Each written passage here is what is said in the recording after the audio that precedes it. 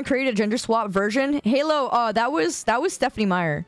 She created that, and his and the name was Bew or Bew or something, or Bo. I think it was Bo.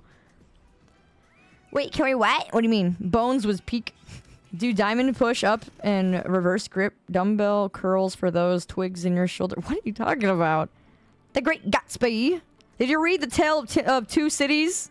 Harlequin romance, I think, is the most popular amongst female readers. I've never read it.